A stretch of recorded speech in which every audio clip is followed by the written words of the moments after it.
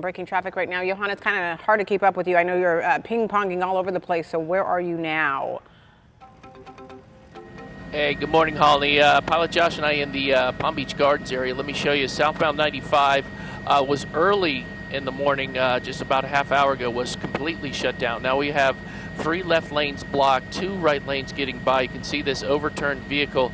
Uh, it's sadly to report this is a fatality crash, and we do have that uh, fatality body just a little bit to the south of here. This is just north of Military Trail uh, the military trail exit area south of Donald Ross. So southbound 95, uh, once you get past Donald Ross, that's where you get the solid delays here, as you're seeing right here in this area. I would give yourself five to 10 extra minutes or get off at uh, Indiantown Road, take alternate A1A, and you can get back on at PGA Boulevard. Also, Hypoluxo and Lawrence, earlier crash there, still has delays involved in that area. Quick check of traffic, going off in Chopper 5. Back to you.